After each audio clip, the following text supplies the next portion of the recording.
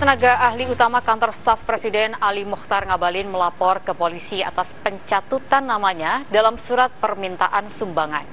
Nama dan tanda tangan Ngabalin dicatut dalam sebuah surat permintaan sumbangan senilai 800 juta rupiah ke wali kota Cirebon.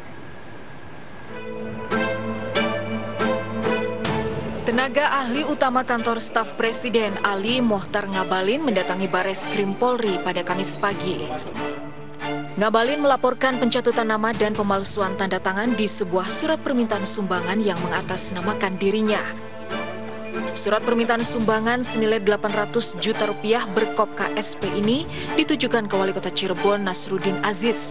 Dalam surat juga tercantum nama narahubung Dian Cahyani dan nomor seluler. Padahal Ngabalin mengaku sama sekali tidak mengenal nama tersebut. Ya, karena kan staf presiden ini terlalu seksi banyak sekali orang ngaku-ngaku, banyak sekali orang mencatut nama Pak Muldoko, Ibu Deputi, Pak Deputi, saya juga. Kami di sana itu eh, apa bekerja, kerja ya atas perintah Bapak Presiden. Dalam konferensi pers Rabu kemarin, Kepala KSP Muldoko menegaskan KSP tak pernah speser pun minta uang ke Wali Kota Cirebon.